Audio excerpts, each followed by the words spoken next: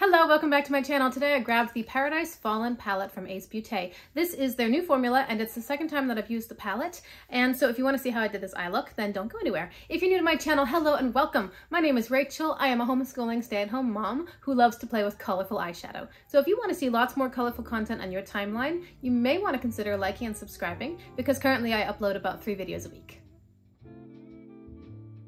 I've already primed my eyes using the Glamlite Icing Primer in the shade White Frosting, and today's look is going to be pretty standard as far as my aesthetic goes. I'm going to start with an e.l.f. crease brush, and I want to take the shade Cypress Tree, which in the pan looks kind of like a burgundy. Um, I think on the skin it looks a little bit more purple. Let's see. Yeah, it's like a it's like a deep burgundy with a hint of purple to it. It's pretty. So I'm placing that in my crease and outer corner. I know what I'm going to do with all the mattes. The question is which shimmer am I going to use and I'm really not sure of that yet. And I think I'm going to place it about halfway through the crease because I do want to take, I think I want to take a different color and put it in this part of the crease. And so I'm just placing this Cypress Tree shade in the outer half. Now, if you can't tell, this is a brand new camera recording my video, so I'm hoping that the video quality is much, much better. Um, I have one more video going live on my channel. I'm not exactly sure of the upload date, but it's going to be going live and that will be using my old phone because what I did was I had filmed a look using my old phone and then later that day I filmed a second video and then further later that day we got our new phones. And so there will be one more video on my channel with the older, poorer quality and then everything after that will be will be a newer, better quality. So I'm excited. The um, the iPhone 13 Pro is what we got and they're actually, they're, I mean, I'm not surprised, but they're really nice. And it's really enjoyable actually to have a phone that works the way it's supposed to and isn't really slow. Like my iPhone 8, I have no complaints about it. It worked well for me for several years. And of course, when I got it and it was new, it worked great. But then it got old. And so now in comparison, the iPhone 13 Pro is a breath of fresh air as far as how fast it's working and how well. And it's just really nice. So I'm really grateful for that and I'm excited to see how, um, how good my video quality will be now that I've got a much better camera. I want to take a smaller blending brush and dip into the shade Dusk. And I want to place that on the inner corner crease. Just the crease. I just want to bring a bit of like that purpley fuchsia shade to the brown here. I woke up this morning to discover that our bicycles had been stolen off of our porch. And it's it's pretty annoying, quite honestly, because my mine was at least $500. I used to use it for like 150 mile bike rides. And my daughter's was, I don't know, 150. And so here's the funny part. The bikes were stolen about two months ago because they were locked together, but my husband forgot to lock them to the support of the porch, like the 4x4 that holds up the roof and I was a little annoyed. Like we, we ended up moving to, you know, more towards the inner city about a year ago. So I wasn't surprised that the bikes were stolen. I was just annoyed because they should have been locked to the porch and they weren't. And that was simply an oversight, whatever.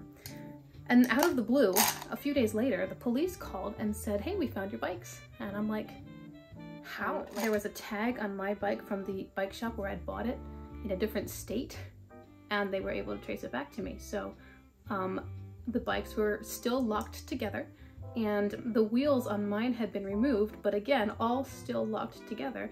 And so the police came by and just returned them. So I'm like, great, thank you, because I really didn't expect to see them again. I didn't have time to take them, I take my bike to a bike shop to get it fixed because there were some wires and stuff that had been cut and I thought I should have a professional fix this. So I just locked them all back like to the porch, to the support of the porch. And all was fine. Until apparently last night, somebody came by with some very heavy duty bolt cutters and they must have cut right through the bike lock, which was like a thick cable, and the bikes are gone. I'm just, I'm frustrated about it. I, I mean, again, I don't really expect to see them. I'll, I'll probably file an official police report because they had our bikes before, before I even had a chance to file, and I'll probably just tag onto that and say, hey, if you happen upon them again, there's still a sticker on it. Uh, I don't know. I don't expect to see them again. Uh, it's just annoying. I'm gonna take the, uh, this little brush, little small pinched, and dip into the shade Vine really, really lightly. It's a really, mm, it's, it's a dark brown. I'm dipping in very lightly to try to soften these edges a little bit. I think actually I'll dip into the shade and then color switch my brush, like tap into the color switch like this.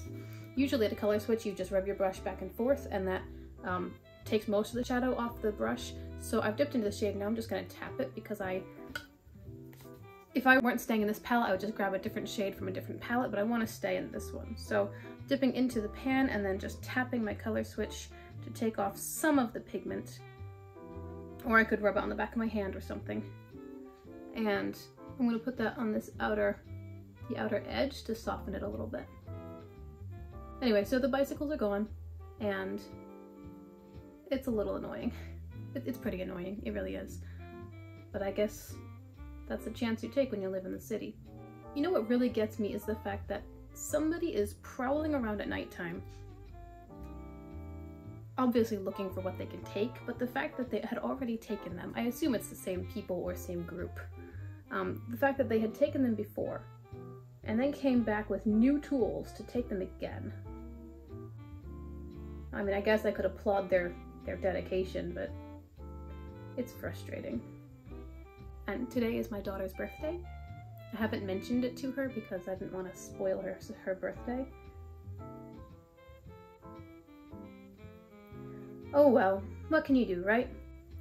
I guess I just need to learn a lesson and move on. So that blended out quite nicely. You know, I just thought, I just thought that instead of dipping into the shade, I could have just taken a plain, um, clean brush and worked those edges out to blend them. But I think it worked, it worked out nicely anyway the way I did it. And it's pretty. Now I want to take the shade, I'll take that smaller blending brush again and take the shade Blackout. And I'm gonna use that to deepen up this outer corner just placing it right on top of um, Cypress Tree, and I'm curious to see how these are going to build. This is the new formula from Ace Beauté, so I don't expect to encounter any problems with building. I'm just curious. The, the moment of truth is always when you put a dark shade on top of another mat. Kind of wish that I had laid Cypress Tree more onto my lash, onto my lid. Let me see. I think I'll go back into my original brush and Cypress Tree and place that like carry it over more to cover more of a third of my lid space just to bring that burgundy shade further in because I don't want to completely obscure it with the black. Now this eye is going to be a tiny bit messier because I'm doing that after I've placed down the black, but that's okay.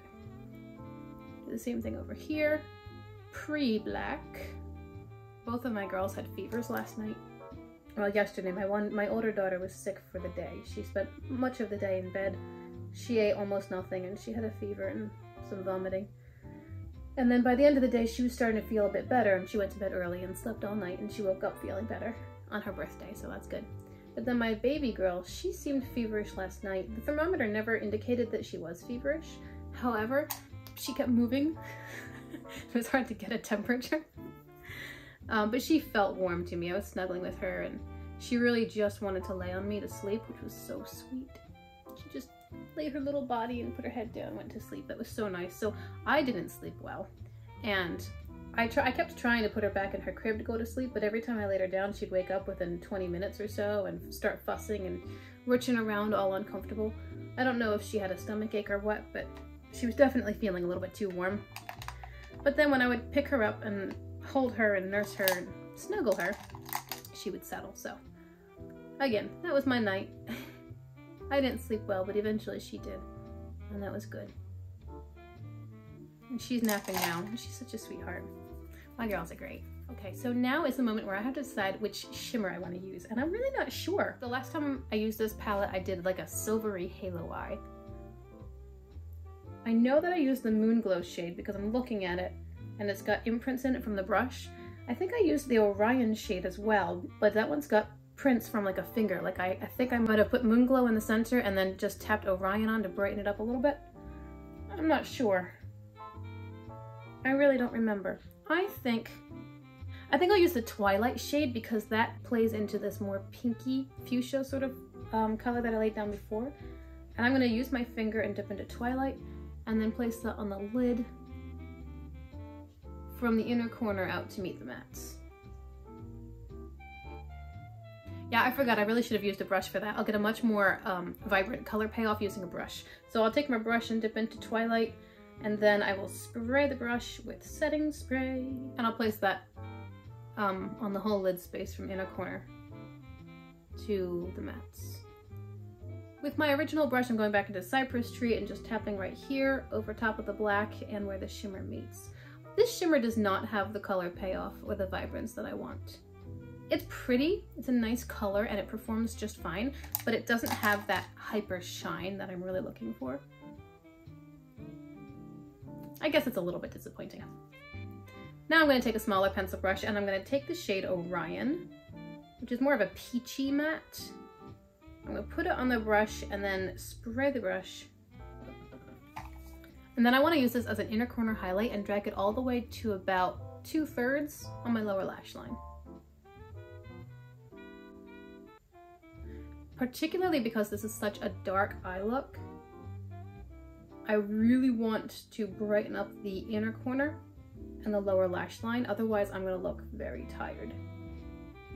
So I'm bringing the Orion shade all the way out till about here where I usually deepen my outer lower lash line. Then I'll take a smudger brush and grab the shade Dusk, go back into Dusk and put that right here.